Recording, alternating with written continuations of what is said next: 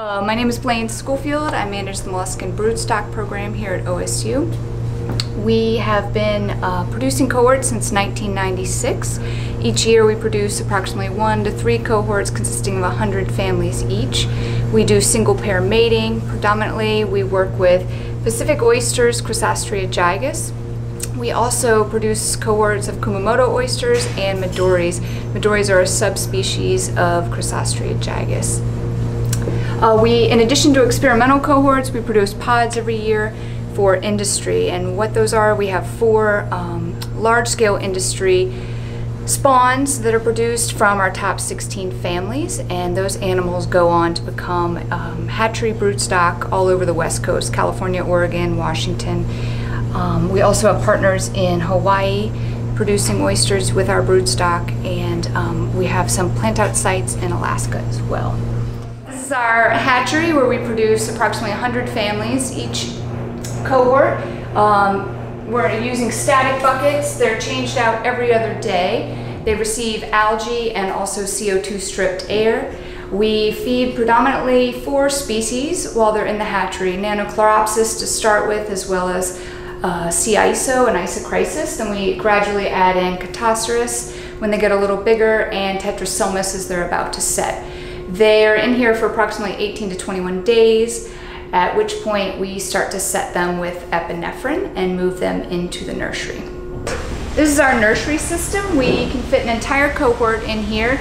Each family will be given its own upweller with a 250 micron screen and um, our families have a number assigned to them from spawn until they're planted out in the field. So each upweller will have that family number associated with it they grow in here for approximately two months before being planted out at one of our uh, partner sites.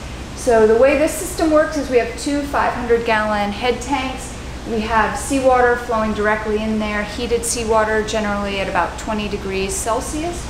Um, it's also uh, aerated with CO2 stripped air. It then flows by gravity into a sump pump where we add in algae and also soda carb if needed, depending on the pH. And then it's a constant flow through of seawater and algae. This is our algae room where we produce all the algae we need for our program. We have holy stock um, all the way up to these 200 liter Kalwalls. So these Kalwalls will actually be sent out to our larger greenhouse tanks to inoculate. Um, we also feed directly from these tanks in our hatchery. Um, we the main species we grow, as I've mentioned, are Nannochloropsis for our hatchery, Isochrysis, Chaetoceros, Tetraselmis. Uh, we also have other species we keep on hand in case we want to experiment with them. This is our algae greenhouse where we have uh, large 7,000 liter tanks. All of these tanks are used to feed our nursery system as well as our conditioning system. We have three different species in these tanks. We have Chaetoceros, Isochrysis, and Tetraselmis. This is our quarantine conditioning system. We have two conditioning systems. One flows directly into Yaquina Bay. This one is treated before going into Yaquina Bay. We have a little bit of brood stock here. So each year we make our spawning matrix. We pull in brood stock from our raft. It's labeled with the cohort number. This is cohort 22 and a family number. This is number one. We're currently on cohort 29. So we'll pull in our brood stock. We will open the animals. We do strip spawning, which means we do kill each animal. So we have to open it and then we sex it under the microscope looking for eggs and sperm and then we actually fertilize by hand in Tri-Pour beakers. Um, after we look for successful fertilization, all of our hatchery buckets are then stocked.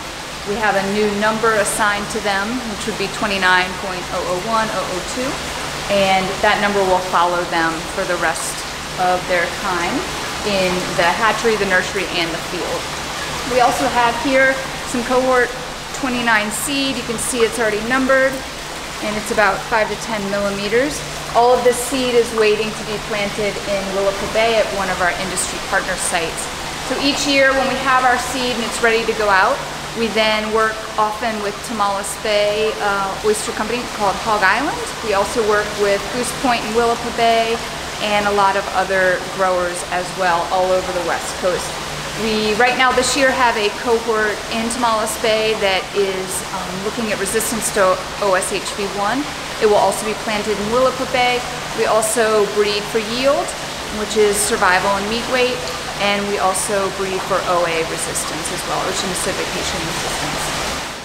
As far as a timeline for MBP, generally we start bringing in our broodstock in mid to late December. We'll then put it into the conditioning system. We'll slowly ramp the temperature up to 20 degrees Celsius.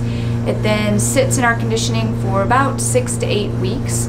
We'll um, open oysters now and then just to check on the condition, look at the eggs and sperm under the microscope. Um, when we get eggs that we feel are going to be successful, we'll go ahead and set a spawning date.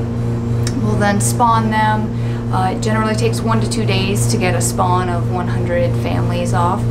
Um, they'll go into our hatchery um, and then after about 21 days we move into the nursery. They're in the nursery for two months and then we're ready to plant them out. This year we were planting in Tomales Bay and in Willapa Bay. Um, we also were hoping to produce a second cohort this year, but that didn't happen due to COVID issues. So in a general year, we'd be producing two to three cohorts. Um, after they're planted out, they then uh, go into several different types of gear systems.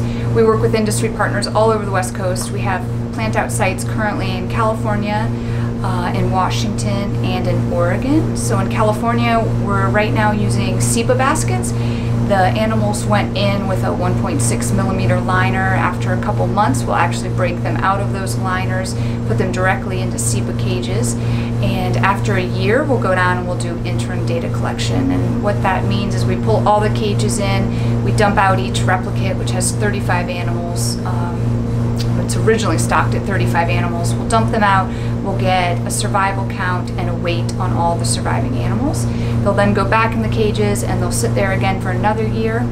After approximately two years in the field, we'll pull them back out, we'll get collect harvest data, which again is survival counts, weights of the whole replicate, and then we'll take 20 animals as a subset from each family, and we'll do individual individual measurements, so length, uh, shell width, shell height, and then we'll shuck each animal. We'll get a wet meat weight, we'll get a dry meat weight, and then we can do our rankings from that.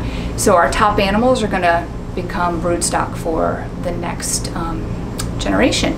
So the animals that are left over are the industry partners animals to keep. So generally, a partner like Goose Point and Willapa Bay, they would use those animals for future broodstock in their hatchery. We often will give them the data if they want it to um, make their own spawning matrix, whatever they're after. If they're after yield, if they're after uh, OSHV1 resistance, we can help them use those animals correctly. Somewhere like Tomales Bay, where you can't use those animals for um, broodstock because of the disease issues, they might just sell them. Um, we do take the 20 animals back for our own experimental purposes, but we're finished with the animals at that point. We also have a repository in Yaquina Bay where we keep all of our brood stock. So we have families all the way back to cohort 22, uh, which was many years ago. And that's where we pull our brood stock every year.